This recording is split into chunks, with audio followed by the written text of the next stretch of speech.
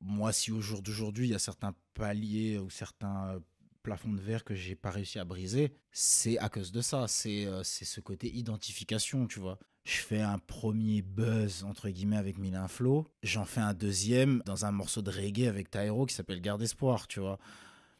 Là, il y a des gens qui m'ont découvert d'un côté et il y a d'autres gens qui me découvrent de l'autre. Ils ont rien à voir les uns des autres. Moi, quand on sort le morceau avec Nemir, je fais mes premiers euh, rendez-vous en major dans la foulée. Moi, ils me demandent 10 morceaux comme celui-là. Ils me disent, on veut du euh, Les années passent x 10. Et moi, je leur dis, alors les gars, je vous explique, je ne fais pas du tout ça.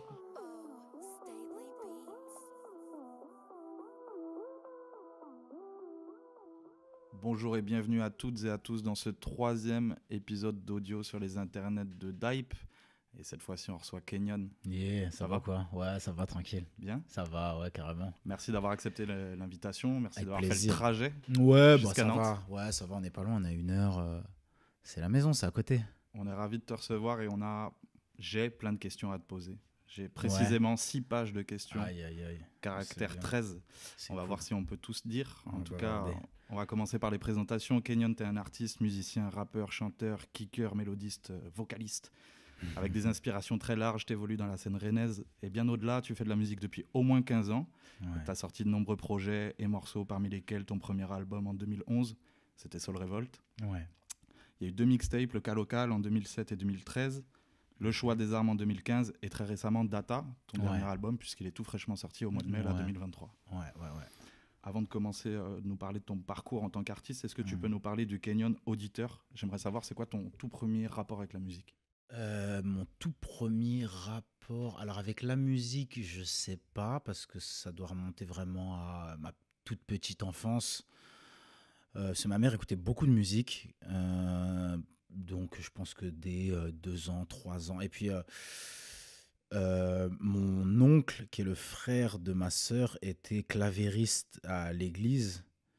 Donc ça fait moi, mes parents se sont rencontrés à l'église, donc tu vois, je pense que la musique, euh, le premier vrai rapport avec la musique, il devait être là, tu vois, euh, euh, à être sur les genoux de mon oncle pendant qu'il révisait au clavier. Je pense que c'est un peu ça, mais vraiment mes tout premiers flashs ou du moins souvenirs avec la musique vraiment. Et puis avec le rap, je crois que c'est venu un peu plus tard, c'était devant la télé. hein. Je crois que c'est MC Solar. Euh, C'était euh, Les temps changent, je crois, si je dis pas de bêtises. Où vraiment, euh, je vois le truc, je dois avoir 7-8 ans. Et je vois les mecs un peu breaker à la station essence et tout. Je me souviens du clip et je sais que ça m'a fait. Je me suis dit, c'est c'est- ouf ce truc. Je crois que j'avais plus même tilté sur la danse, tu vois, euh, au tout début. Mais je- tout l'ensemble, c'est la première fois où je me suis dit, ah, ça, ça je trouve ça cool. Sais, parce qu'on voit plein de trucs passer, t'as de la pop, voilà, c'est les télés un peu. C'est les chaînes généralistes de musique. C'était euh, M6 ou? je pense que c'était M6, j'avais pas le câble euh, à ce moment-là. Euh, donc, tu as plein de trucs qui passent. Toi, tu, tu, tu consommes, tu prends, tu as un âge où tu prends un peu tout ce qu'on te donne. Et je sais quoi, à ce moment-là, je, je me dis, putain, ça c'est cool, c'est différent, tu vois. Donc, c'est un peu ça, mes, mes, premiers, euh, mes premiers rapports euh, en tant qu'auditeur. C'est. euh, au tout début, je pense que c'est 2-3 ans dans le contexte que je te disais. Et puis plus tard, avec le rap, c'est vers ouais, 8 ans, je dirais un truc comme ça. Ouais. des CD à la maison, la radio peut-être? Euh, moi, ma mère avait des vinyles. Ouais. Euh, style, c'était beaucoup de pop anglaise. Euh, Style euh, Kylie Minogue, des trucs comme ça. Ok. Euh, ouais, c'était ça. hein. C'était ça. Et après, moi, j'ai commencé à avoir mes premiers CD euh, collège. Ton tout premier CD, le premier que t'achètes avec tes sous à toi, c'est quoi? C'est 50 Cent. Get. Rich or Die Trying. Waouh. Ouais, c'est le premier, je me souviens, où, euh, où je dis à ma mère, euh, bah, c'est, je crois, c'est voilà, Inda Club commence à tourner en radio, il pète la tête à tout le monde, on se prend tous le clip 5-7 fois par jour. Et puis euh, je dis à ma mère, euh, ouais, je veux, je- et puis c'est un album, on sort en plus de ce format. euh, si- ah, ouais, les- c'est vrai qu'il y avait les singles avant, il y avait les trucs de titres. Bien sûr. Euh, et ça, c'était ma mère qui me les achetait. je pense que c'était du This is la peste, je pète les plombs, des trucs comme ça, un peu.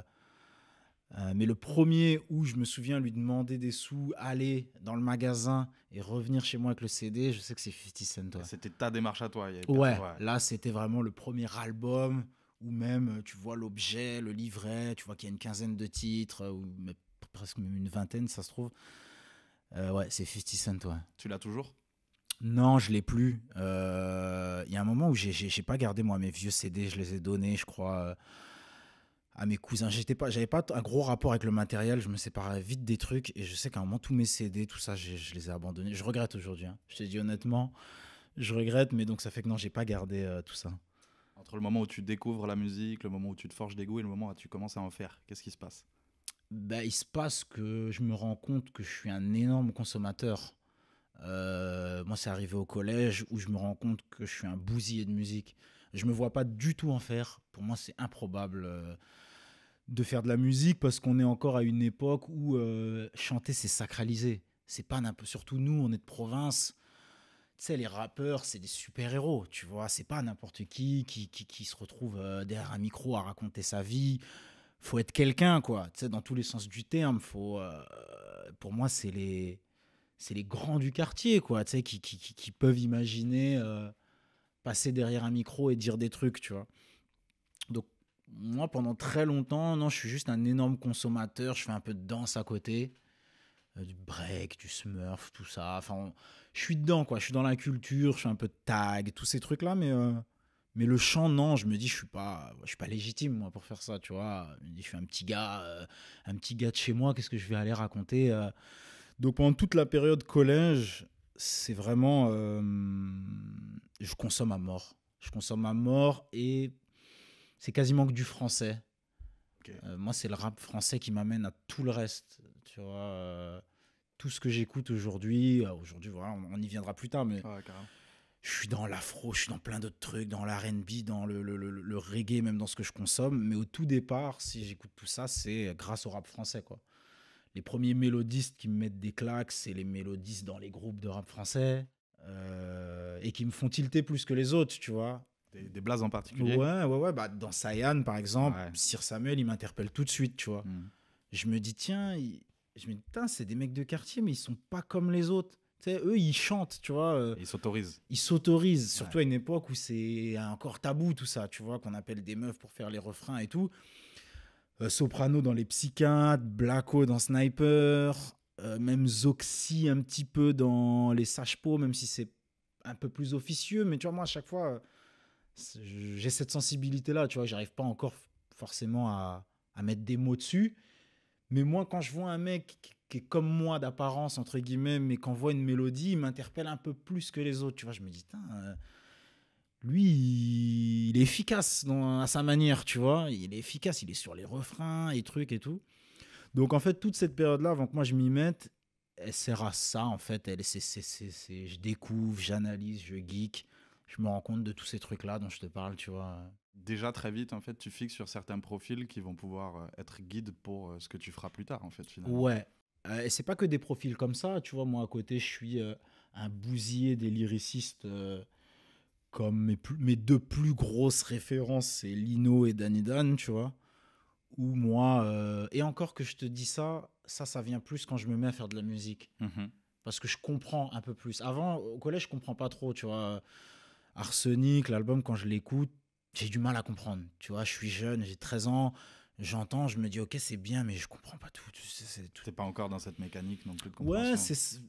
Il y a trop d'infos, il y a trop de refs, c'est trop loin pour moi, tu vois. euh, Et je le comprends pas vraiment à ce moment-là, là, c'est avec du recul que je te dis ça, tu Ah vois. ouais. Mais quand j'écoute, je me le prends pas vraiment, tu vois.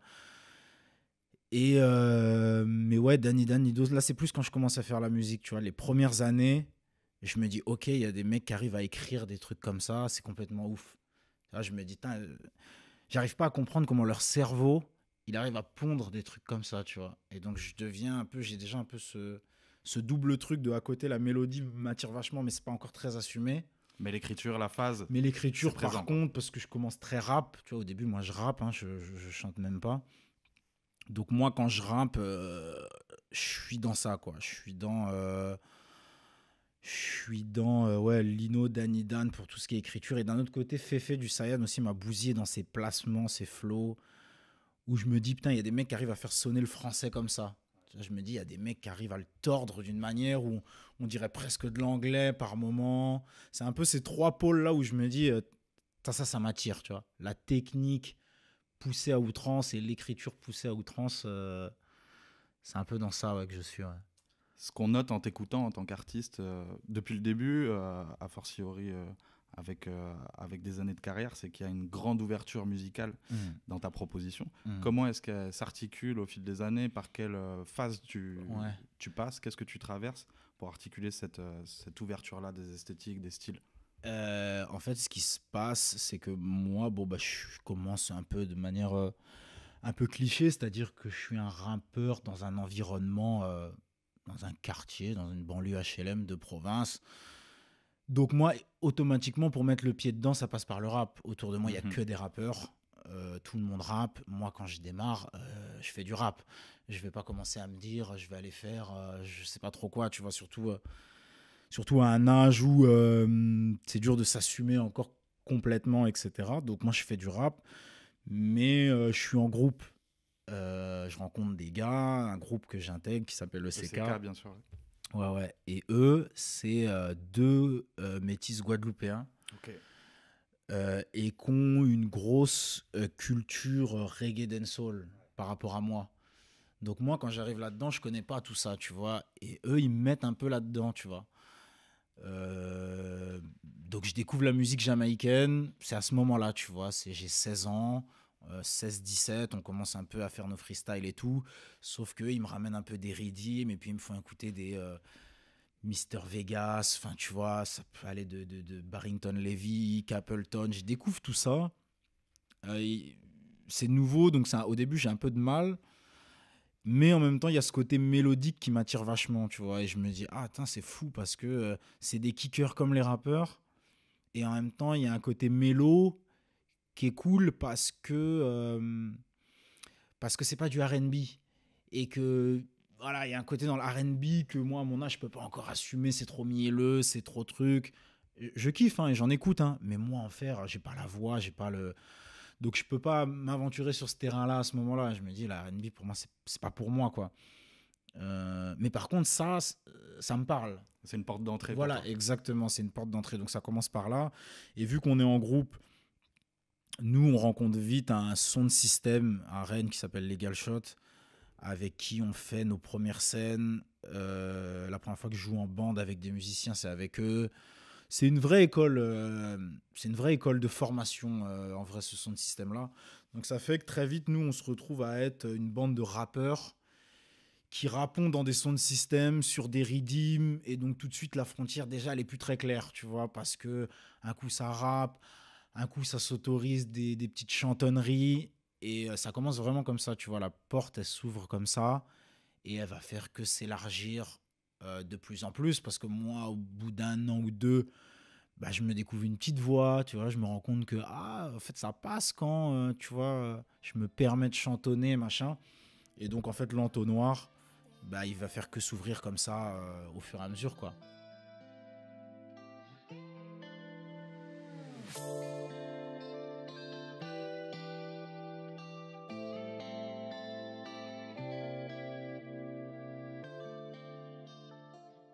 J'en viens à une question qui me passionne assez.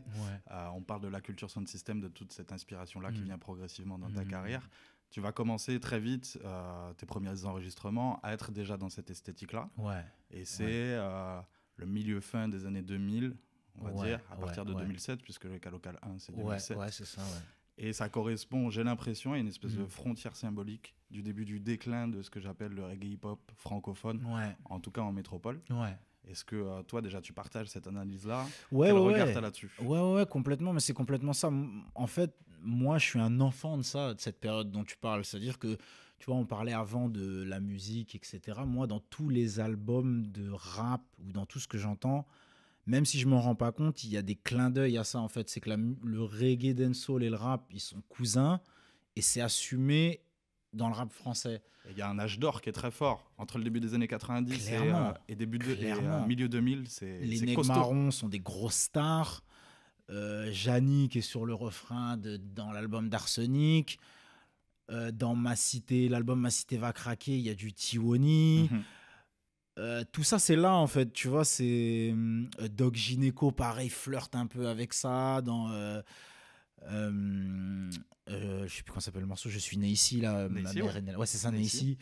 Tu vois, il y a le remix avec Yannick aussi. Mhm. En fait, et puis moi, j'étais très influencé Sectora aussi. Ouais. Euh, et eux, bon, c'était des influences qu'ils embrassaient très clairement. Mais euh, même, enfin, Kiri James était dans ça aussi. Dès le départ. Raga Son Sonic. premier enregistre- enregistrement, Kerry James, c'est Ouais. un morceau qui s'appelle Raga Jam. Ouais, voilà, si ouais, ouais, si, si, je vois très, très Il bien. est direct dedans. Il est direct dans ça, il a commencé même avec ça, tu vois. Et euh, à cette époque-là, on a des grosses stars dans le reggae dancehall, quoi, de euh, Tonton David en passant par Raga Sonic.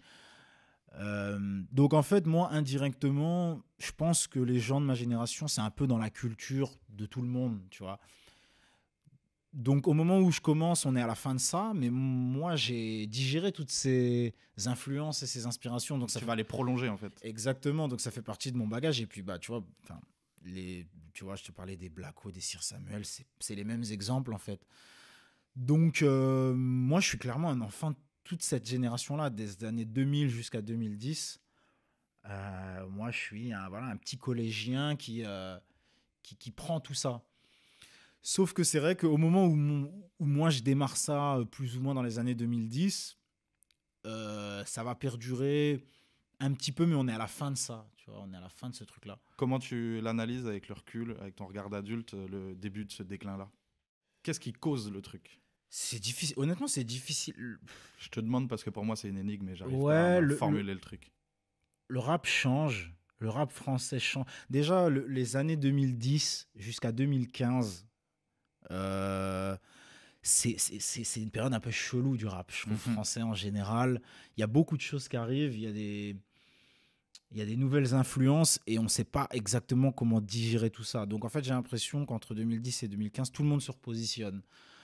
Euh, bon, il y a, y a la trappe qui va arriver, il y a un retour du boom bap. Euh, les trucs qui marchent, qui sont populaires, sont un peu chelous. C'est la période DJ Khaled, des claviers un peu trap qui vont hyper mal vieillir. euh, les Mick Mill arrivent et tout, machin. Donc je pense que tout le monde est en train de se repositionner et dans tout ça, le reggae dancehall, il passe aux oubliettes, tu vois. C'est comme si, genre, euh, on a trop de choses là à réfléchir. Ouais. Pour en plus intégrer ça dans notre formule, il va falloir faire des. Là, je te synthétise tout ça, Ouais, mais je pense que c'est un truc dans l'inconscient un peu collectif qui se passe, quoi, tu vois. Euh, et puis aussi, c'est la période. euh, L'autotune arrive. Ouais. Mais pareil, il n'est pas complètement assumé. Mais il arrive fort dans le dancehall aussi. hein. Ouais, bien avant même. Ouais. Dancehall en 2005, Ouais. euh, l'autotune, ça y est, il est déjà là. Les cartels, euh, euh, Mavado, tout ça, euh, L'autotune, il est complètement assumé, complètement digéré dans le dancehall dès 2005. Mais dans le rap, ça met un peu plus de temps. Et donc, je pense que c'est aussi euh, un passage où les chanteurs, les vrais chanteurs, vont gentiment se faire mettre au chômage, entre guillemets, tu vois. Chanteurs et chanteuses, hein, tu vois. Je pense que ça y est, les rappeurs ont compris que bon, bah, euh, maintenant, on va amener notre énergie en termes de mélodie, en termes de, de chant, etc. Donc, je pense que c'est tout ça qui fait qu'en fait, pff, le reggae dancehall, euh, ça y est, quoi, tu vois. euh, on le met un peu de côté, quoi. On dit, Mm. bon, bah, il est temps de. Voilà, tu vois, il est temps que chacun fasse, fasse son chemin. Nous, les mélos, ça y est, on, je pense qu'on va pouvoir faire quelque chose. Euh, et donc, ouais, en gros, c'est ça qui se passe de manière très large, je pense. Et toi, dans tout ça, euh, est-ce qu'à un quelconque moment, tu as la volonté ou la conscientisation de te dire euh, je vais euh, perdurer euh, sur ce style-là, je vais continuer à le faire vivre Ou c'est mon ADN, c'est comme ça que je conçois la musique et c'est comme ça que j'ai appris à la faire? Est-ce a- est-ce que, est-ce que tu Ouais. le penses, ce truc-là, ou pas du tout? Ouais, ouais, ouais, c'est un peu de tout ça parce que hum, ah, moi, j'ai le, j'ai le sentiment euh, d'avoir capté assez vite euh, ce que la musique allait être là aujourd'hui, tu vois. Mhm. dans le sens où euh, la mélo, tu vois, entre 2005 et 2010, c'est un peu tabou de chanter. Moi, je suis persuadé que qu'en fait, la mélo, c'est le, c'est le passé, c'est le futur. Ok. Tu vois, et euh, je me fais cette réflexion-là de me dire que même le rap, en fait, dans l'histoire du rap, il, il a jamais pu se passer de la mélo. Tu vois, alors pas forcément lui, mais de Tupac à Biggie, leur grosse entrée dans, le, dans la pop, il passe par la mélo, tu vois. Et moi qui suis un fanat de mélo, je me disais toujours, mais non, mais les gens, c'est des fous d'essayer de, de, de, un peu de, de compartimenter ça, tu vois. Et donc moi, dès le début, alors ça passait par le reggae dancehall, mais en fait, c'était plus large que ça. Mais pour moi, c'était un peu la seule arme que j'avais pour continuer à euh, garder de la mélo dans ma musique, tu vois. Ça passait par le reggae dancehall.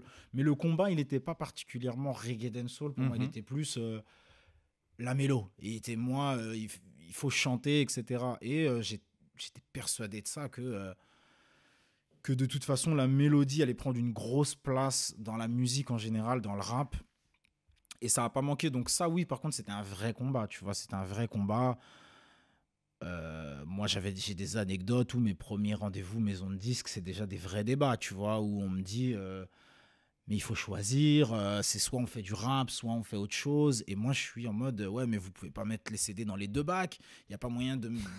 Y a, tu vois, et moi, ils me disent, mais d'où il sort celui-là? De quel On fait pas ça, en fait. Tu vois, ça n'existe pas, tu vois. Et moi, j'étais, bah ouais, mais moi, il y a tout ça. Donc, moi, si tu peux m'en mettre un petit peu dans les charts R&B, un petit peu dans les, les mecs qui m'écoutent. Et c'était maladroit, tu vois. J'ai 20 ans euh, au moment où je te parle de ça, tu vois. Mais euh, en fait, c'est juste que moi, j'ai pas les clés pour euh, exprimer tout ça. Mais la manière dont je vois la chose, je pense qu'elle est juste à ce moment-là, tu vois. Bah, la preuve en est, c'est que ça n'a pas manqué. Hein. Au jour d'aujourd'hui, on est complètement dedans, tu vois.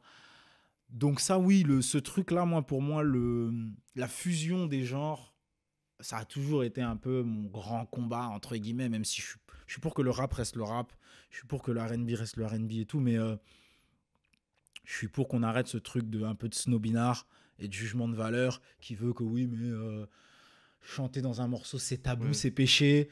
Ou tel rappeur il a fait une zumba. Voilà, ça c'est du jugement de valeur euh, que j'aime pas dans la musique en fait. Parce que pour moi c'est juste une manière de dire oui, mais en fait je suis plus fort parce que moi, je suis dans ce créneau-là de rap. Et qu'en fait, ça fait que je suis. En fait, tout le monde veut être un peu numéro un selon ses propres règles. Oui, mais moi, je suis le plus fort parce que je fais du rap, euh, admettons, de ce genre-là. Et dans ce genre-là, c'est moi. Tu sais, ça permet de compartimenter, de créer un peu. Et c'est pas ça la musique, tu vois. Que tout le monde euh, soit au top de son propre ego trip finalement. Exactement, exactement. C'est un peu ça, ce jeu un petit peu sournois et surtout de la musique urbaine. Parce que la musique urbaine, c'est très ego trip. Et on est très dans ça. Euh, t'as as tout résumé là en ta phrase, c'est complètement ça. Et, euh, et, moi, je suis pas dans ça, tu vois. C'est de la musique. C'est de la musique. Et, euh, et aujourd'hui, on le voit. De toute façon, moi, je trouve que la musique, elle a jamais été aussi riche que maintenant. Et c'est grâce à tout ça, tu vois. C'est grâce à tout ça, à, à cette fusion des genres, quoi.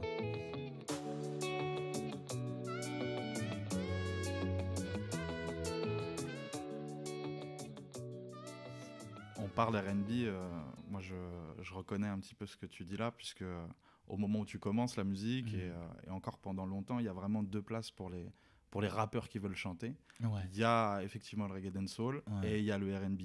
Comment est-ce que toi tu te positionnes avec le temps sur le RB Puisque tu disais tout à l'heure que c'était au début un peu compliqué, maintenant c'est totalement assumé. Il y a une vraie vibe dans mmh. ta proposition qui, qui s'approche de, de, de, ce qui existe en RB.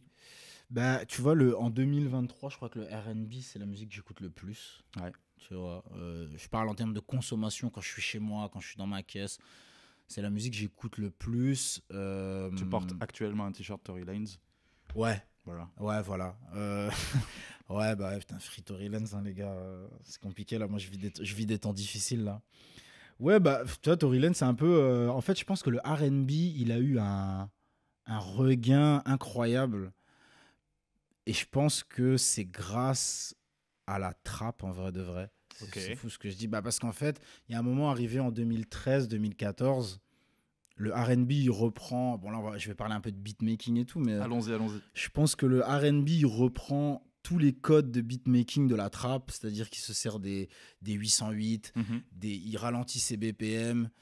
Euh, et en fait, ça lui donne un regain incroyable, quoi. Et c'est le moment où les Bryson Tyler, ils arrivent, où les Tory Lanez arrivent, et où en fait le R&B, il a jamais été aussi frais. Euh, il est complètement dans l'air du temps, quoi. Ça, je te parle de ça en 2013-14. Il a continué à évoluer et tout, mais euh, en France, c'est un peu différent. En France, c'est quand même plus récent qu'il a un regain de hype, mais c'est grâce à des rappeurs, encore une fois. Hein. Mmh. Euh, le R&B il est redevenu un petit peu euh, consommable sans avoir honte grâce à des rappeurs, grâce à des mecs comme Hamza. Euh, il doit en avoir d'autres, plein d'autres, tu vois, mais on les connaît, tous ces mecs qui. Euh, où aujourd'hui la frontière, elle n'est pas claire. Tu vois, même un Tiakola, tout ça, c'est. La frontière, on ne sait pas trop. Ils embrassent tous les codes du rap, mais en même temps, il y a des. Il y a des vrais morceaux assumés sur des riffs de RB, sur des grosses guitares et tout. Donc, euh, bah aujourd'hui, ouais, on en revient toujours à ce même bilan, c'est qu'aujourd'hui, on est euh, finalement dans cette ère où euh, le RB, comme plein d'autres styles de musique, il est greffé à l'urbain. Et aujourd'hui, on peut faire ce qu'on veut, en fait. On peut faire ce qu'on veut et, ça se passe très bien. Mais c'est vrai que moi, début 2010, c'est pas, pas encore aussi clair, ça vient plus tard. Moi, je pense que mes riffs vocaux, ils deviennent de plus en plus RB à partir de 2018-19 mais c'est aussi euh, vocal c'est vocalement c'est parce qu'avant je pouvais pas me le permettre je chantais moins bien tout simplement tu vois. Ben, j'en viens à ma prochaine question puisque quand on écoute ta proposition musicale et depuis le départ ce qu'on note énormément aussi c'est cette signature vocale qui est un petit peu particulière et qui a tendance à évoluer au fil des projets au fil des années et la question que je me pose c'est est-ce que tu avais le sentiment d'avoir vite des facilités Hmm. à avoir une proposition mélodique ou hmm. est-ce que c'est quelque chose que tu as dû travailler d'arrache-pied? Non, c'est venu assez euh, naturellement. Euh, le plus dur, c'était de l'assumer, mais ce qui est venu très vite, hein, tu vois, à 18 ans. Euh, moi, ça y est, c'était parti. Je, faisais des refrains. sur ma première mixtape, il y a des morceaux chantés. depuis le début que j'ai commencé à proposer de la musique, j'avais déjà cette proposition-là. donc non, c'était assez naturel. Euh, j'ai senti que j'ai toujours été familier à ça. Maintenant, vocalement, j'ai pas pu tout faire tout de suite. Au début, euh, de 18 à, euh, sais pas, même 26, jusqu'à très tard, 26, hein, 27, je suis quand même beaucoup plus limité. Même s'il y a des morceaux RB comme le morceau par exemple avec Nemir Les années passent, tu vois, qui est un morceau un peu boom bap RB, tu vois mais vocalement, euh, c'est très. Moi, je suis très limité, tu vois, dans, dans ce que je fais. Enfin, après, c'est peut-être des trucs que moi j'entends que par rapport à aujourd'hui, tu vois. Mais moi, quand je réécoute le morceau, j'écoute ma voix, je me dis, c'est juste pas possible, tu vois. Je me dis, waouh. Euh, donc, en fait, je sens que je suis très limité très longtemps parce que ma voix est pas encore complètement dépliée, parce que je fume beaucoup à ce moment-là. Euh, donc je l'entends moi aujourd'hui tout ça avec du recul dans, dans, la musique et notamment dans ce morceau-là, tu vois. Mais par contre, le, le, je suis familier avec la mélodie tout de suite, quoi. Ça c'est pas un problème. Mais c'est sûr que je me rends compte que je peux pas tout faire. Euh, je peux pas me prétendre à ce moment-là être un chanteur de R&B ou un chanteur d'afro. À la limite, dans le reggae dancehall, ça passe justement parce que le débit permet un peu de pallier à certaines lacunes vocales entre guillemets. Mais euh, c'est à peu près là que j'en suis. Ouais. C'est-à-dire que la mélo, c'est complètement assumé. Par contre, j'ai conscience jusqu'à un moment, jusqu'à très récemment, entre guillemets, genre ces cinq dernières années, que je peux pas tout faire non plus, tu vois. Bah, au contraire, moi, j'allais te dire euh, qu'il y a une grande versatilité dans ce que tu proposes, à la fois dans tes choix de production, dans les techniques que tu envoies, tes flows, les esthétiques que tu vas aller creuser. Et que, euh, du coup, il y a une forme de liberté immense et que, entre très gros guillemets, on pourrait penser que Kenyon euh, sait un petit peu tout faire. Il y avait un morceau qui est sorti en 2000, euh, allez, 11 ans à dire quelque chose. Mille et un flow Ouais. Ouais. ouais, ouais Mille et un flow, c'était un peu cette idée-là déjà dès le départ d'aller essayer de, tout faire quelque part. Ouais, clairement. Et c'est avec ça, moi, que les, les, euh, la première fois que je fais parler de moi hors de. Ah, c'est ton premier buzz Ouais, ouais, ouais, voilà, c'est ça, ouais. C'est ça. et je suis hyper content que ce soit ça la première proposition parce que comme tu dis, ça me représente à 100%, tu vois. Et euh, moi, dans ma tête, j'ai jamais euh, été limité, tu vois. Euh, RB, rap, machin, Milan Flow, il, représentait bien ce truc-là. Après, je te parle techniquement, tu vois. Mhm. ce que je te disais avant, c'est vraiment de la technique pure, quoi. Ou vocalement, je me dis, il y a des morceaux, c'est compliqué d'aller au bout des choses. Mais par contre, moi, en termes de mentalité, je, je me fixe aucune limite, très clairement, tu vois et ça rejoint ce qu'on se disait parce que en fait j'ai du mal avec ce, euh, à ce moment-là hein, je, je, me mets dans la c'est encore le cas aujourd'hui mais aujourd'hui c'est moins valable mais à l'époque ouais ça j'ai du mal avec tout ça quoi avec ce truc d'étiqueter de dire ouais mais en fait euh, pff, si, euh, si demain je veux faire du rap, du boom bap, ça veut dire que on va me cantonner à ça toute moi. Pour moi, c'était des prisons, quoi. Je me disais en tant qu'artiste, je me dis je peux pas, quoi. Et même faire que du reggae, je me disais mais je me vois pas. Je me vois pas faire que du reggae ces 15 prochaines années, euh, être que dans un environnement comme ça. Donc très clairement, ouais, quand j'arrive avec Mille et un Flow, le message c'est ça et c'est resté ça euh, le reste du temps. ouais. Pour aller plus loin, euh, cette grande liberté que tu as souhaité obtenir en, en refusant de, de te catégoriser dans un genre ou dans un autre, est-ce qu'à un moment, ou à plusieurs moments même peut-être, ça t'a posé des problèmes en termes de choix artistiques, de choix Oui. musicaux, de choix de carrière, un dilemme d'identité peut-être Très clairement, très clairement. C'est euh, moi le. C'est le, c'est tout le, c'est tout le propos de ces 10-15 dernières années. Euh, je- moi, j'en ai conscience au jour d'aujourd'hui et c'est, c'est des choix assumés, mais euh, c'est des choix qui coûtent très cher. Euh, moi, si au jour d'aujourd'hui, il y a certains paliers ou certains plafonds de verre que j'ai pas réussi à briser, c'est à cause de ça. C'est, euh, c'est ce côté identification, tu vois. C'est-à-dire qu'à un moment, moi, euh, je fais un premier buzz, entre guillemets, avec Milan Flow. J'en fais un deuxième dans un morceau de reggae avec Tyro qui s'appelle Garde Espoir, tu vois. Mhm. Là, il y a des gens qui m'ont découvert d'un côté et il y a d'autres gens qui me découvrent de l'autre. Ils ont rien à voir les uns des autres. Et ça va être ça, euh, ça va faire que ça, tu vois. euh, les morceaux qui me découvrent. Moi, quand on sort le morceau avec Nemir, c- euh, je fais mes premiers euh, rendez-vous en major dans la foulée. Moi, ils me demandent 10 morceaux comme celui-là. Ils me disent, on veut du euh, Les années passent x 10. Et moi, je leur dis, alors les gars, je vous explique, je ne fais pas du tout ça. je l'ai fait une fois. Oui, je serais peut-être en mesure de le refaire une deuxième fois, une troisième fois sur un malentendu. Mais c'est bon, l'expérience est passée là. Voilà, c'est ça, tu vois. Moi, c'est juste une instru qui tournait en studio à un moment. euh, ah, j'ai senti une vibe, je l'ai fait. Mais euh, ça coûte très cher, ça, parce qu'à un moment, euh, à un moment, les gens peuvent pas t'identifier, ils savent pas qui t'es, tu vois. Ils savent pas qui t'es.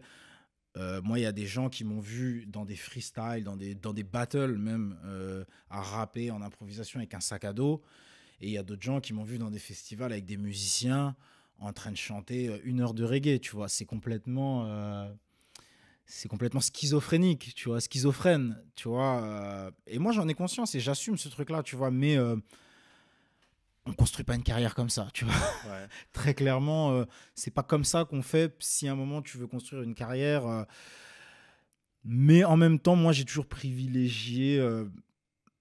En fait, moi, j'ai toujours vécu ça comme une aventure et comme, des pa- comme un jeu vidéo où à un moment, euh, il fallait que je passe des paliers, quoi, tu vois. Moi, j'aime bien cette métaphore de est-ce que tu mets tous tes points dans l'attaque ou dans la défense, etc. Ouais. Toi, tu as choisi de les mettre partout. Ouais, ouais, ouais, exactement. Et, et moi, c'était pour en 2023, pour être encore un petit peu euh, relevant, entre guillemets, dans ce que je fais, c'est-à-dire pour avoir l'impression de sortir un morceau en 2023 et pas être complètement largué, et ben, c'est toutes ces étapes-là qui m'ont permis d'en arriver là, tu vois. Donc, en fait, c'est des choix purement artistiques et non pas de carrière qui coûte très cher, hein, qui coûte une carrière, qui coûte euh, une vie dans la musique, hein, tu vois.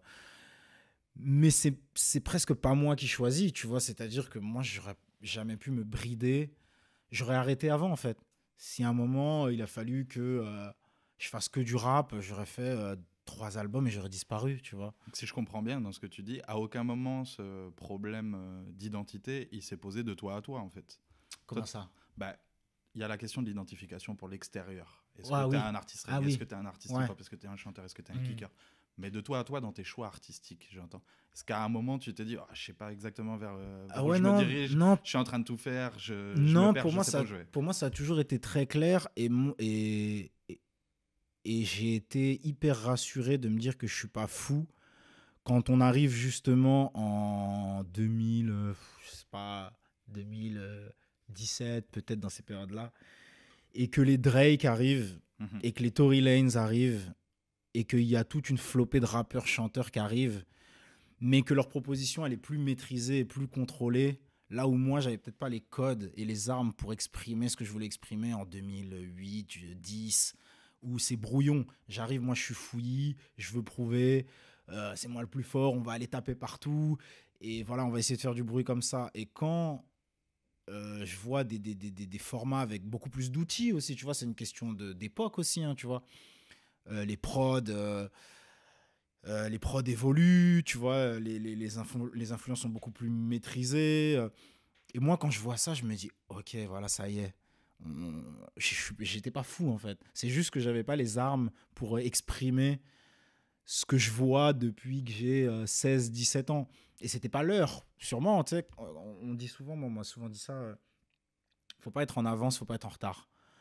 Faut être à l'heure. Tu vois ce que je veux dire? Et moi, c'est pas pour dire que j'étais dans le futur ou je sais pas trop quoi. Pas du tout, tu vois. C'est juste que, en fait, il faut savoir composer avec ces outils au moment où tu vis une certaine époque, tu vois. Et moi, ça, j'en étais incapable au moment où, euh, où je vis en 2009-2010 j'ai pas la lucidité, je suis jeune aussi, tu vois, de me dire, alors attends, on va prendre des beatmakers qui vont euh, pouvoir me faire une cuisine parfaite pour mixer toutes les influences que j'ai dans ma tête.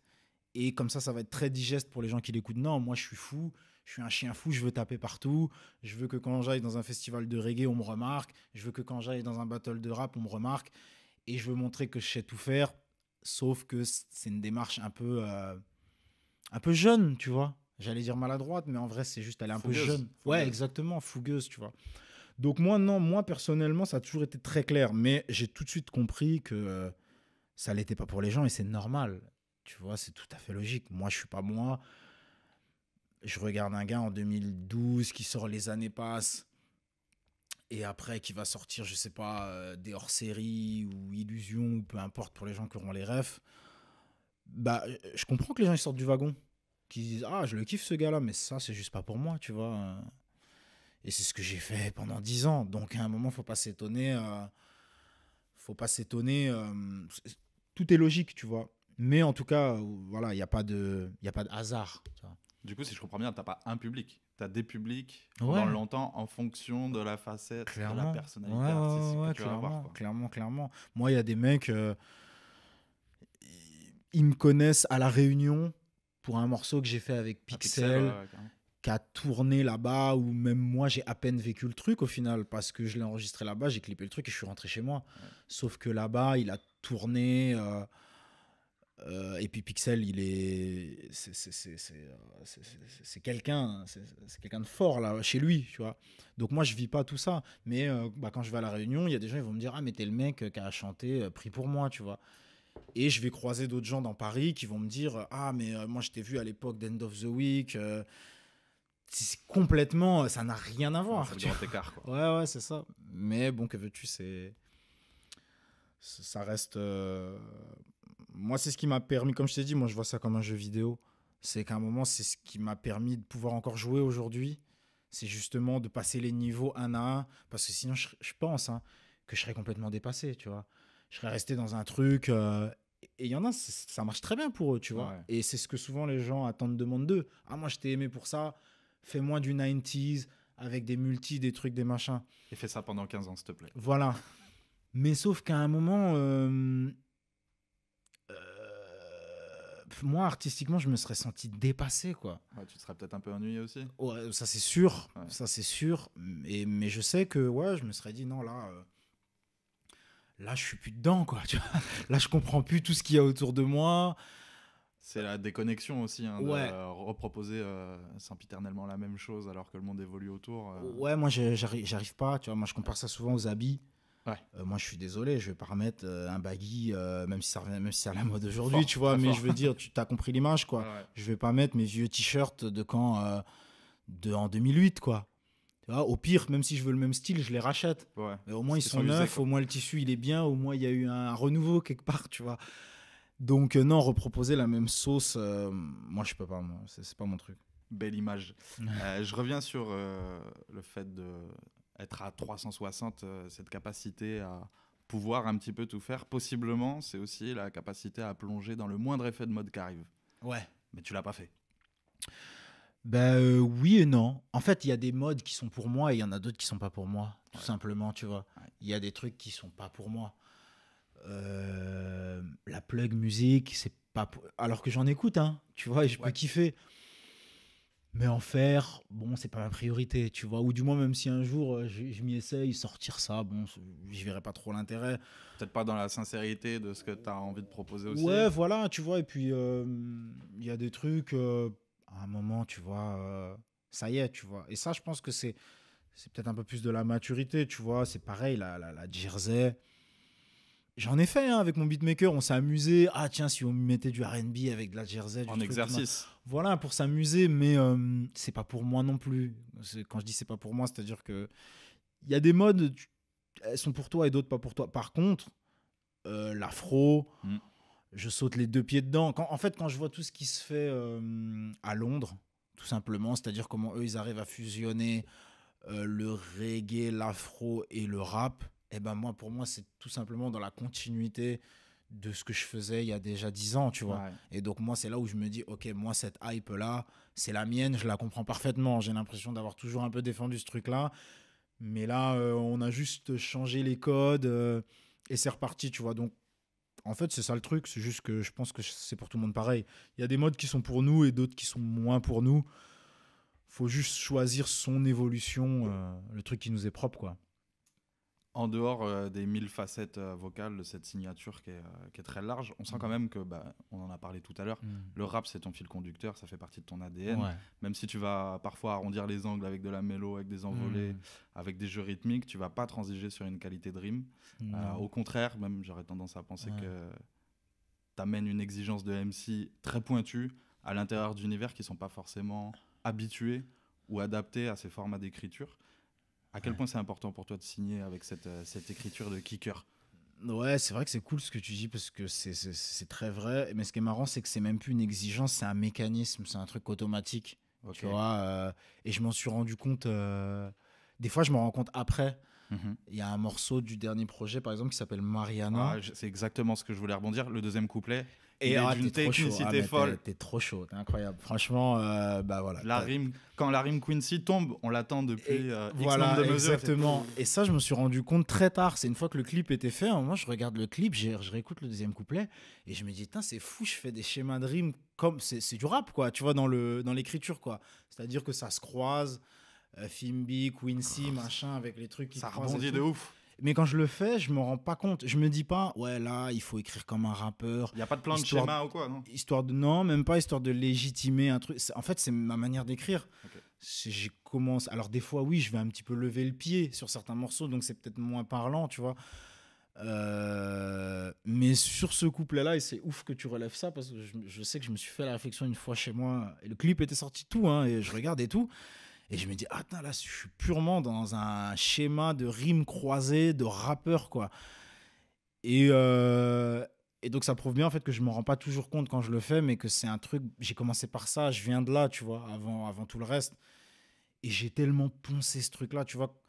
Tu vois, de Mariana aux influences Lino d'Anidan, on allait loin, hein, tu vois. Ah, Il y a- y, un monde qui, qui a été créé entre. Mais, euh, mais mes automatismes, ils ont commencé avec ça, tu vois.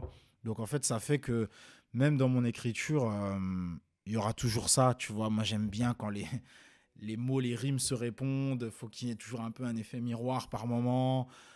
euh, que les rimes soient. Mais c'est vrai que je m'en rends pas toujours compte, tu vois, quand je le fais. C'est un, c'est de l'identité pure, quoi, tu vois.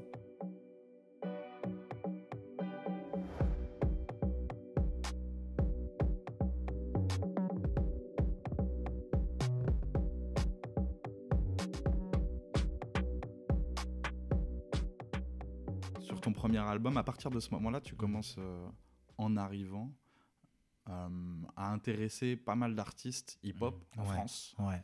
euh, qui vont t'inviter sur des projets Mhm. que toi, en retour, tu Mhm. vas inviter aussi. Et qui sont pas n'importe qui. hein. On parlait de Danny Dan depuis tout à l'heure. Ouais. C'est un artiste avec qui tu as collaboré. Ouais, ouais. Vislo, Rockin' Squad, Tyro, etc. Quel effet ça a eu euh, pour toi, le fait d'attirer cette attention-là de la part de tes pairs, voire même euh. De, des anciens, des De- aînés ouais, quoi. de mes grands, ouais, carrément, pour la plupart des noms que tu as cités. Bah, c'est euh, à ce moment-là, c'est rassurant parce que, euh, comme je te disais euh, au tout début, moi j'ai l'impression d'être l'enfant d'une certaine génération. Et euh, quand j'ai,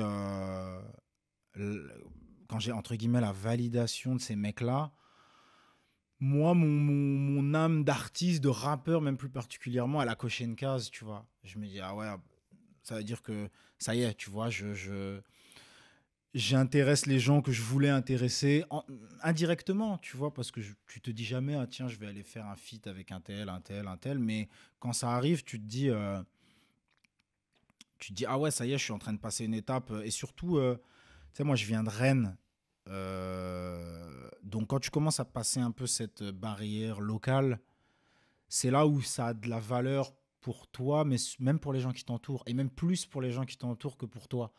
Parce que toi, quand tu es dans le truc, au final, tu le vis et il y a une logique à tout ça, tu vois. Euh, moi, quand je check les gars que tu as cités, il y a une logique. Tu te retrouves à un endroit qui va t'amener à un autre, qui va t'amener encore à un autre endroit jusqu'à check ce gars-là, tu vois. Euh, Rocking Squat, la première fois que je le check, c'est en soirée. C'est une soirée Canal Street. Euh, et juste, il me serre la main en me disant ah, Je vois ce que tu fais, c'est cool et tout. mais moi, je suis en mode Mais c'était Rocking Squat, là. Parce qu'on n'avait pas vu beaucoup son visage forcément à ce moment-là. Et c'est important, je dis mon pote, mais c'était lui et tout. Donc après, le fait d'être. Tu vois, il y a une logique dans tout ça, tu vois. Mais pour les gens qui, qui, sont dans ta ville, dans ton quartier et qui te voient, entre guillemets, passer ces, ces petits paliers-là, c'est pour eux que ça, ça prend une autre dimension. Qui se disent Ah, mais là, là Kenny, c'est plus juste le petit gars, euh, tu vois, qui, mhm. avec qui on rappait machin. C'est là, euh, c'est là bah, il est avec euh, des gars que moi j'ai écouté aussi, tu vois. Donc c'est satisfaisant. Dans l'ensemble, c'est satisfaisant. Ça te fait se dire que tu fais pas du surplace. c'est, à, à, ce moment-là, c'est satisfaisant. Tu as la vingtaine. Le but, c'est de prouver. Euh, à ce moment-là, je fais des allers-retours sur la capitale et commencer à faire parler de moi à droite à gauche. Voilà, c'est satisfaisant. Ça fait se dire, ok, on on n'est pas fou. En fait, euh, ce qu'on faisait, c'était pas juste, euh, juste les gars de chez nous, dans notre ville ou dans notre quartier, qui nous sauçaient en nous disant, ah, t'es bon, t'es chaud, nanana. En fait, tu te rends compte que oui, on le dit, on commence à le dire un peu ailleurs. Donc ça, c'est kiffant, ça conforte. Est-ce qu'à un moment, euh, avec euh, aussi ton identité vocale, le fait d'être en capacité d'aller faire des refrains, tu t'es posé la question de te dire euh, j'intéresse d'autres artistes qui sont mes pairs, hmm. mais je, suis, je suis aussi quelqu'un qui est en capacité d'aller faire, d'aller faire du refrain. Est-ce que tu t'es demandé hmm. si on t'appelait aussi pour être un hook singer? Est-ce que c'est un truc qui t'a, qui t'a traversé l'esprit ou pas du tout? Ça m'a traversé l'esprit parce que c'est arrivé c'est déjà arrivé. Moi, je sais que le premier morceau qu'on fait avec A2H, quand il m'appelle, c'est pour un refrain, je crois. Euh, je crois que c'était le premier qu'on faisait. Euh, je crois qu'à l'époque, il y avait euh, FA Baby aussi qui m'appelle sur son album, qui me demande de faire un refrain. donc ça arrive un petit peu, tu vois, mais après, c'est pas quelque chose qui est qui est particulièrement tamponné, mais parce que je pense qu'aussi que les gens ont très vite capté ce truc-là. Euh, tu sais, on parlait d'identification, etc., machin. J'ai jamais eu l'impression que le problème, il venait euh, des artistes ou en interne. Moi, j'ai l'impression que les gens qui sont dedans, de manière très large, ils captent assez vite le truc.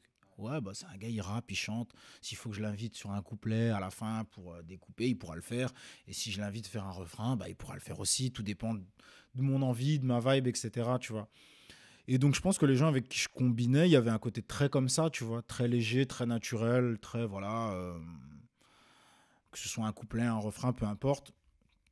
Mais ce truc, euh, c'est plus pour les gens d'extérieur, tu vois. Euh, qu'on se demande, bah, est-ce que c'est un gars qui va faire que des refrains pour les rappeurs? Parce qu'il y a des artistes qui se sont enfermés aussi un petit peu dans ce truc-là, donc ça peut être un risque. Ouais, ouais, ouais. Bah, je te dis, à cette période-là, là, on, je pense que les, les on est en train de, redistribuer les cartes complètement. Et donc, entre 2010 et 2013, il n'y a, a, plus vraiment de règles. On ne sait plus vraiment euh, qui va où, qui fait quoi. Musicalement, tout le monde est en train un peu de se repositionner. C'est le moment où il y a beaucoup de nouvelles têtes qui arrivent. Donc moi, je suis un peu, tu vois, dans ce truc-là, dans ce marasme. Je vais à droite, à gauche, je flotte. Un coup, je fais des refrains. Un coup, euh, un coup je fais un couplet par-ci, par-là. Donc... Euh, il n'y a rien qui est encore très défini à ce moment-là. Et au fil des années, au fil des années 2010, tu gagnes de plus en plus en visibilité, on le disait, tu bosses avec tout un tas d'artistes. Il y a le morceau avec Nemir qui tourne, il y a le morceau avec Tyro qui tourne. Ouais. Nemir, il monte en même temps Ouais. et t'es de plus en plus reconnu sur la scène nationale. Mm. Et on se dit qu'il y a un phénomène d'aspiration qui, qui va t'amener euh, qui va t'amener loin. On se dit Kenyon, il va tout casser, il va Mm. pouvoir passer à d'autres strates. Mm. Finalement, ça met du temps à se concrétiser. Le prochain album, entre 2015 et 2023, bah, c'est maintenant, c'est Data. Euh, on sent que tu as été freiné pendant un petit moment. Qu'est-ce qui s'est passé pendant tout ce temps? Comment est-ce que tu vois ce morceau de parcours avec le recul. Euh, bah, tu vois, on en a déjà parlé un petit peu avant. Euh, Je, je pense que ce, ce- c'est à un moment, c'est des choix d'identification qui Mhm. font que le positionnement il est pas clair. Et donc au final forcément le cette percée là entre guillemets elle est pas claire non plus tu vois. On sait qui je suis mon nom il tourne. Enfin et encore que je te dis ça c'est beaucoup en interne. Parce que ce moment là au moment où le morceau avec Nemir il sort là comme je t'ai dit je, je fais mes premiers rendez-vous maison de disques comme tu dis il y a un peu on me sollicite à droite à gauche il y a un peu ce truc de se dire ah ce gars là c'est un peu évident qu'il a euh, qu'il- a quelque chose pour convertir, mais quand, comment il va convertir, ça on sait pas, tu vois. Et vu que moi, c'est le moment aussi où euh, je te mens pas moi les, les rendez-vous maison de disques quand j'en sors, je suis un petit peu euh, perdu. Bah, Il y a un morceau euh, dans Data qui s'appelle Flash où tu parles d'une signature avec Universal, etc. Là, on se demande quelle est la part de, de réel là-dedans. mais On se dit que tu as dû traverser des épreuves vis-à-vis de l'industrie musicale. Ouais ouais ouais, bah, c'était une signature en euh, comment on dit en édition. Donc tu vois, c'était pas euh, une signature d'artiste et tout, mais bah, la part du réel, elle est à 100%. hein. c'est que j'ai signé en euh, 2000, euh, dans cette période-là, 2012 peut-être, tu vois. Et ça s'est pas, ça s'est pas mal passé, mais c'était pas nécessaire, tu vois. C'est pas un truc a, c'est un truc a abouti à rien. Parce qu'il y a des conditions pour signer et il faut le savoir, tu vois. C'est-à-dire que bah, les conditions pour signer, c'est qu'il faut être dans une bonne position, tout simplement. Et qu'en fait, signer pour signer, ça sert pas à grand-chose, tu vois. Euh, Donc, euh, en fait, moi, à ce moment-là, c'est tout ça qui se passe. C'est-à-dire que je fais plein de rendez-vous majors, je commence à signer en édition et tout. Et moi-même, je suis un petit peu... euh, c'est pas clair, je sais pas trop où je vais parce qu'en même temps, le discours que j'entends en face, j'ai pas l'impression que ce soit là où je veux aller. Tu vois, j'ai pas, je me dis, je vais pas faire, euh, je vais pas faire forcément ce qu'ils me demandent, mais en même temps, moi, je sens non plus que c'est pas forcément non plus fini et arrêté ce que j'ai envie de proposer. Moi, avant tout ça, je suis un, un- un freestyler et un artiste de scène beaucoup, tu vois. C'est ça qu'il faut remettre euh, dans le contexte, c'est que moi, je, je suis tous les week-ends quasiment sur scène, mais je suis pas un gars qui est très médiatisé. Je suis à droite, à gauche en train de faire des freestyles et tout, mais euh, pareil, encore une fois, je suis pas, on me connaît pas plus que ça. On me connaît dans un microcosme, quoi. Hmm. On sait qui je suis, j'ai une réputation plus qu'autre chose. tu Pour les concernés. Exactement, c'est une niche, c'est un microcosme. Mais sorti de ça, voilà, on me connaît pas plus que ça. Et pourtant, je fais que de la musique de ma vie, quoi, tu vois. C'est ça qui est paradoxal. Donc il y a un peu tout ça qui se mélange, où est-ce que je veux aller euh. Donc il y a des tentatives aussi avortées, tu vois, il y a des signatures de, en label indépendant euh, qui qui mènent pas forcément euh, très loin. Mm. Et donc ça ça prend beaucoup d'énergie aussi, ça, tu vois, parce qu'à chaque retentative, Tu recommences à zéro. voilà, mais surtout euh, en termes de mindset.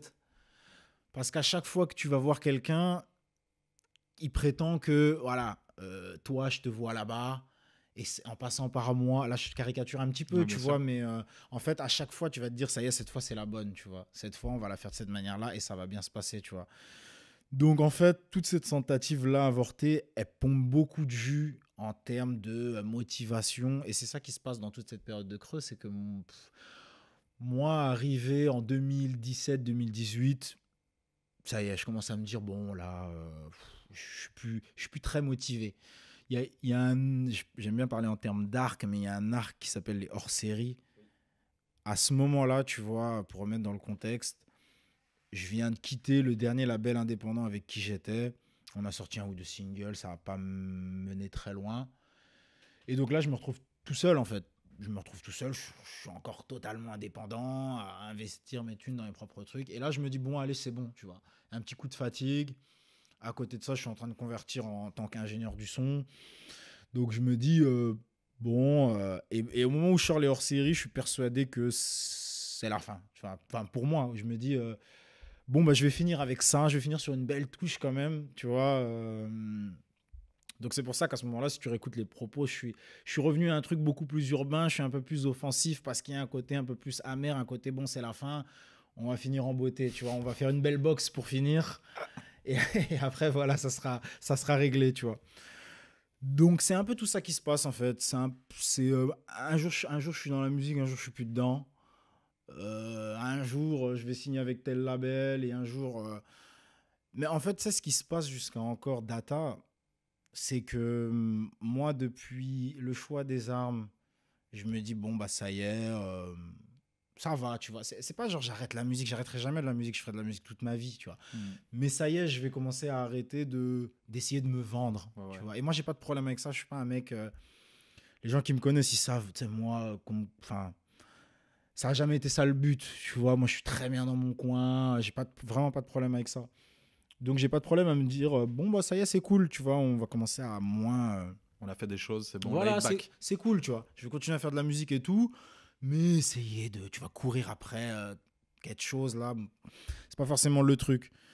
Donc moi tu sais depuis cette période là jusqu'à même data en fait j'ai l'impression d'être un mec qui veut à tout prix entre guillemets hein, là je je grossis le trait à mort et je caricature, mais je suis dans un truc où je suis un mec qui veut arrêter une drogue et à chaque fois il y a quelqu'un qui te dit eh, viens on fait un petit dernier tour viens on fait viens on tente viens on fait un petit dernier tour regarde viens on fait un petit projet revois un petit clip un truc un machin c'est caricatural là, la manière dont je l'amène mais il y a beaucoup de ça tu vois il y a beaucoup de euh, il y a beaucoup de moi tout seul je suis dans mon coin tu sais ces trois dernières années avant de sortir data il y a que des capsules sur Insta. Il n'y a plus rien d'autre. moi, j'ai, j'ai pris la décision d'arrêter de faire du clip. Ça m'intéresse plus de faire du clip. Euh, et moi, ça y est, je suis indépendant, je suis un son. À ce moment-là, mon taf, c'est je suis dans un studio et je, je suis un son. Bon, bah, je suis dans un studio, je vais continuer à faire de la musique. Et je me dis, je vais pas me prendre la tête, je vais continuer à boxer sur les réseaux, comme ça, tranquille, tu vois. Mais ce qui est fou, c'est que c'est à ce moment-là que je reçois beaucoup de sollicitations en interne, tu vois, où il y a beaucoup de gens, pas forcément des trucs que je dirais parce que voilà, faut que ça reste, tu vois, mais euh, ça vient de partout, quoi. Dans ces trois dernières années-là, oui, des mecs qui viennent s'intéresser me disent, mais euh, qu'est-ce que tu as prévu? Moi, je lui dis, j'ai rien de prévu. Je m'amuse, tu vois, et où on me dit, mec, euh, ça te redirait pas de faire un dernier tour Donc c'est un peu ça qui se passe, tu vois, je, te le décris un peu dans tous les sens, tu vois, mais en gros, euh, le creux là, c'est c'est un peu ça qui se passe dans ma life, c'est que je suis en j'ai un pied dedans et j'ai l'autre pied qui est plus vraiment dedans, tu vois. Parmi les gens qui sont venus te donner de la force sur, les, sur, euh, sur ce moment-là, mmh. je devine euh, entre deux mots que A2H peut en faire partie. Ouais. Euh, est-ce que tu peux nous parler de ton rapport avec A2H Au fil des années, vous avez travaillé ensemble à de nombreuses reprises sur différents morceaux. Il y a eu Karma, Tantine, Lockdown. Et puis, euh, vous avez sorti Amapia Love sur Data, qui a annoncé ta signature sur son label Palace. Euh, est-ce que tu peux nous parler de votre rencontre? Qu'est-ce qui marche entre vous? Hmm. Comment est-ce que vous aboutissez à une signature sur son label? Bah, A2H, c'est un pote, tu vois. En fait, il fait partie des gens, des rares gens avec qui tu t'entends bien dans la musique, tu vois. Mhm. Euh, ils sont pas mille, tu vois, mais il y a toujours des gars comme ça avec qui, voilà, c'est assez facile, tu vois. Donc lui, moi, je le rencontre, euh, je le rencontre bah, début 2010, parce qu'en fait, très vite, on a le même tourneur, lui et moi, à cette période-là. Et on fait beaucoup de dates de concerts ensemble, des plateaux, des trucs, des machins. Je crois que la première fois qu'on se retrouve vraiment sur un morceau, c'est le remix de Vislo, là, Hip Hop Ninja. Oui où il y a lui et d'autres gens, entre oh, autres. Ouais, ouais, ouais, Je crois que la première fois que nos voix se retrouvent l'une à côté de l'autre, c'est sur ce morceau-là. Mais on s'était déjà check avant en se disant, ah, faudrait qu'on fasse un son et tout, un de ces quatre, machin, nan, Donc, euh, à deux âges, il a jamais été très loin, tu vois. Euh, voilà, on a fait plein de trucs ensemble. Après, il m'invite sur, euh, sur Tantine pour son album. On part en Afrique ensemble. On clip avec Valentin Petit, d'ailleurs, RIP à Valentin Petit. Euh, et donc, en fait, même très tardivement, encore ces dernières années, même quand moi je suis un peu moins dedans, lui, lui, ça se passe très bien pour lui et il développe plein de trucs en parallèle. Il a une boîte, euh, il a une boîte d'édition où il fait de la top line, il place des beatmakers pour des gens et tout. Et moi, il m'appelle, pareil, en mode, euh, il sait que je suis dans mon coin, mais il se dit, ouais, lui, c'est un ouf un peu, tu vois. Il, vas-y, il est chaud en fait, faut qu'il me sorte des top lines, faut qu'on bosse, faut qu'on fasse des trucs, machin. Donc il m'appelle et on se retrouve à faire des résidences, euh, parce qu'il a un studio aussi. Donc on se retrouve à faire des résidences où je passe des semaines chez lui, à bosser, à juste faire des top lines à droite à gauche pour des gens dans l'ombre, machin. euh. Et on parle beaucoup. euh, euh, et lui, il a son label à côté, etc. Et puis il entend un peu mon discours, et puis au final, on en vient. La manière dont ça se fait le déclic, je crois que c'est qu'à un moment, je lui dis, je lui dis, tu sais, moi, euh, j'ai eu peut-être plus de propositions que de réelles euh, concrétisations. Je lui dis, tu sais, moi, les trois quarts de l'argent qui ont été investis sur moi, c'est moi qui l'ai investi, entre guillemets, tu vois. Et ça lui fait un tilt de se dire, mais attends, euh, moi j'ai un label, euh, de l'argent, il y en a. Est-ce qu'on referait pas un petit tour comme je te disais, ce même truc encore de. Est-ce qu'on referait pas un petit tour de roue, tu vois? Et donc c'est un peu comme ça que ça se passe en fait. C'est qu'à un moment, bah, il m'appelle et il me dit, bah mec, euh, voilà, moi je kiffe ce que tu fais. C'est pas normal que qu'un mec comme toi euh, soit là où il est. euh, T'es un poteau, je crois en plus en ton truc. Allez, est-ce qu'on se referait pas un petit tour, un album, un truc, un machin? Et honnêtement, je pense que c'est l'un des. Au début, j'ai dit non, tu vois, pour te dire la vérité.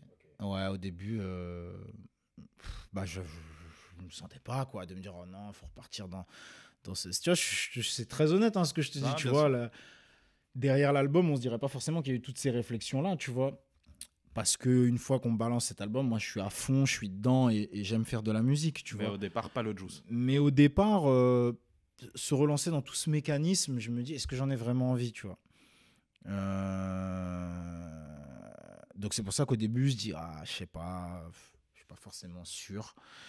Mais au final, j'ai beaucoup aussi de gens autour de moi et honnêtement, c'est plus grâce aux gens autour de moi que moi-même qui m'ont dit, euh, voilà, il y a plein de choses à faire. Il y a des choses à développer et même toi arrête aussi tu vois, euh, tu arrête tu vois.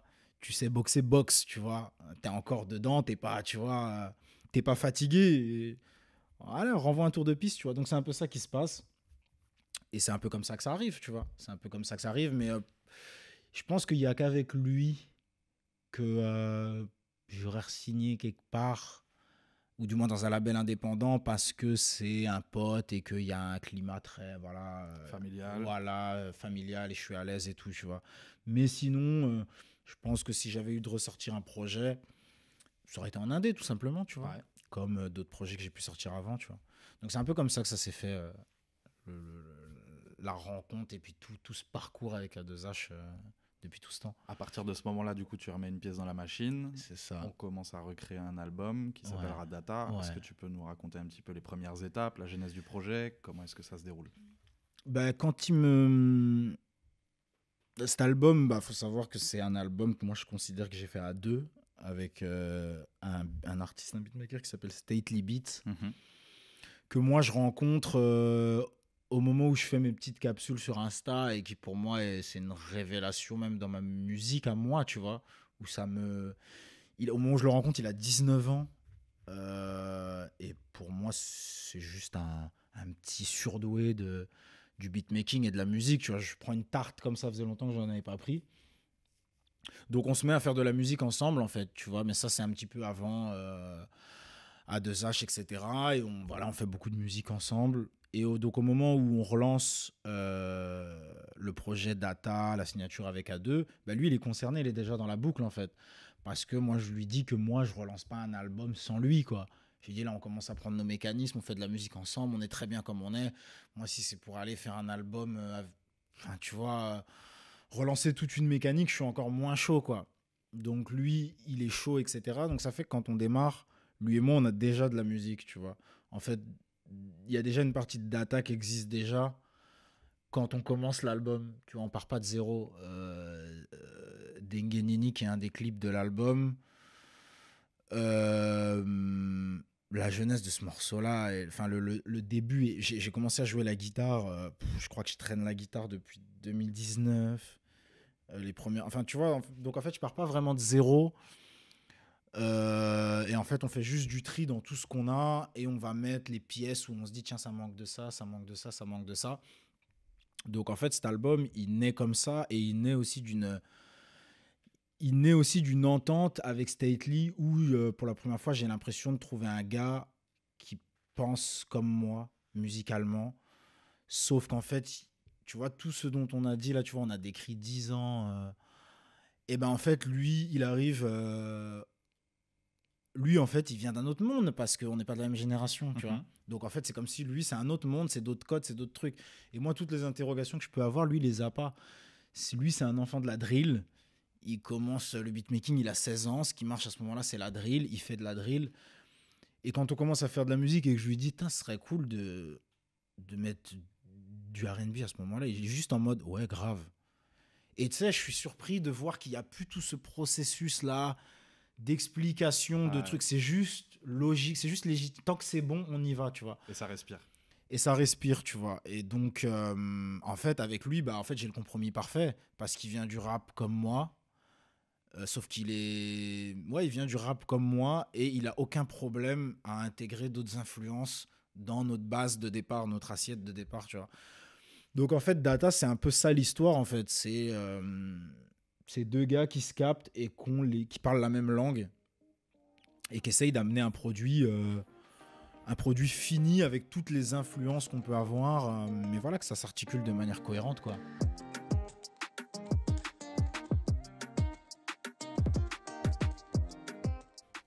Il y a un départ, il y a un fil rouge dans ce disque Data, c'est un habillage qui a la manière un petit peu d'un module d'entraînement, comme si tu naviguais dans, dans un menu entre des souvenirs, des flashbacks Ouais, et les différentes euh, facettes de votre personnalité artistique, du coup, à deux. Euh, D'où est-ce qu'elle vous vient cette inspiration Euh, Qu'est-ce que vous vouliez évoquer avec ce fil narratif-là? Ben, en fait, c'est qu'au moment justement où on démarre l'album, on commence à se dire, on a déjà des morceaux, moi j'ai déjà des morceaux, et je commence, et c'est là où je commence à les mettre les uns à côté des autres et à me demander qu'est-ce que je raconte en fait euh, dans ces morceaux, tu vois. Et je me suis rendu compte euh, qu'il y avait un côté très souvenir dans, dans tout ce que je racontais. Alors même si euh, c'était très axé euh, vers le côté relation homme-femme, machin, parce que c'est ce que je vivais à ce moment-là. Mais je me disais, bon, bah, même, même ce que je raconte, je le vis plus. Enfin, tu vois, c'est une relation hein, qui est beaucoup dépeinte euh, dans tout ce qui est euh, les relations hommes-femmes. Mais même le reste, il y avait toujours un côté, même Zidane. euh, c'est moi quand j'écoute Zidane, j'ai pas l'impression d'être dans le présent. Quand j'écoute Zidane, j'ai l'impression d'être à une genèse d'un mec un peu qui sort de son quartier, avec tout le mindset qui va avec. Tu vois, donc en fait, j'ai vraiment l'impression que c'était arrêté à des endroits de ma vie. Et je me suis dit, ouais, bon, bah c'est ça en fait. L'album là, c'est un peu un, étalage de souvenirs.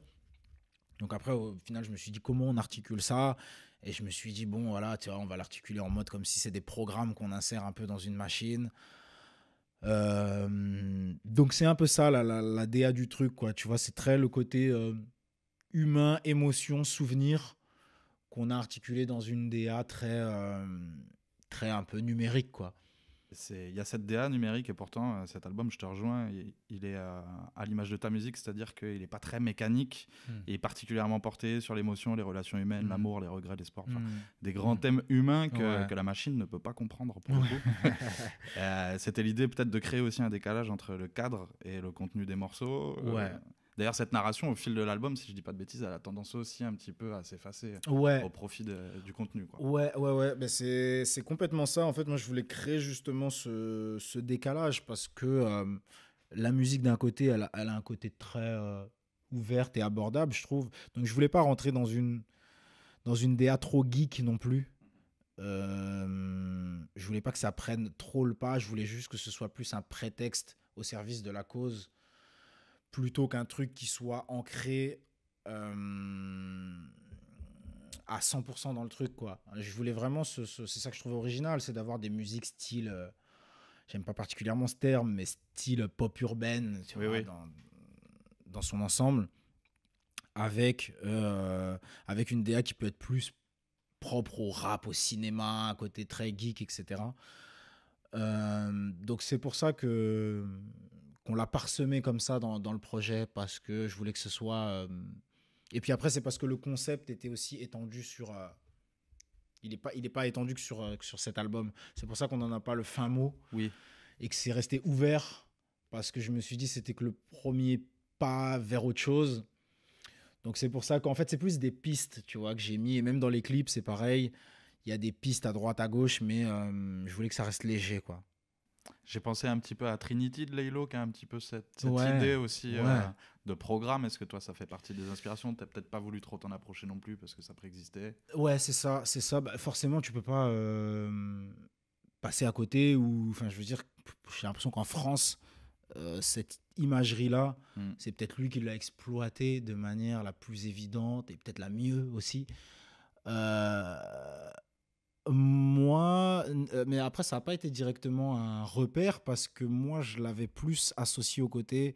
En fait, on, nous, on était dans un truc plus afro-futurisme, tu vois. Et c'est ça qu'on trouvait intéressant. Nous, c'était dans nos têtes, c'était le Wakanda, quoi, tu vois. Plus que le côté euh, Matrix, tu vois. Donc, euh, elle est là, la nuance.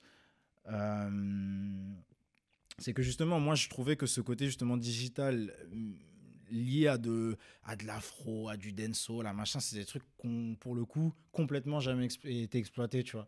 Et c'était ça, moi, que je trouvais intéressant, euh, même si le côté digital, il n'y a rien de nouveau là-dedans, euh, surtout en ce moment. Mais par contre, l'associer à des musiques comme celle qu'il y a dans Data, c'est ça que je trouvais, euh, que je trouvais intéressant.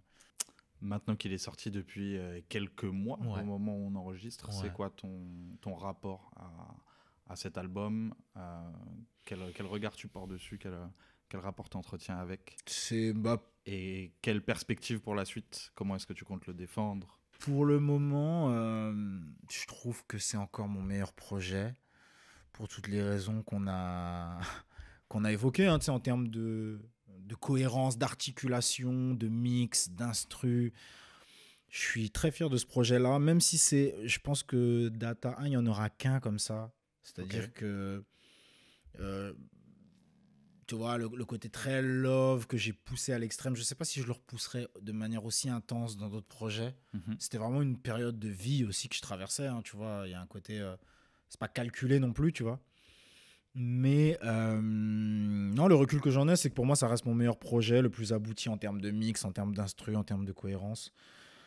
Euh, et je compte voilà continuer à le défendre sur scène. En ce moment, on fait, des, on fait pas mal de dates là. On a commencé depuis la sortie du projet. On va continuer jusqu'à la fin de l'année. Donc c'est un projet qu'on défend sur scène, qui se défend aussi très bien sur scène.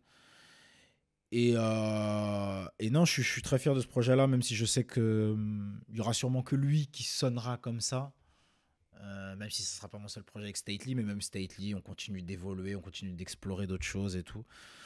Donc, euh, très content, honnêtement, très content de ce projet. euh, c'est ouais, c'est pour moi mon, mon plus bel enfant.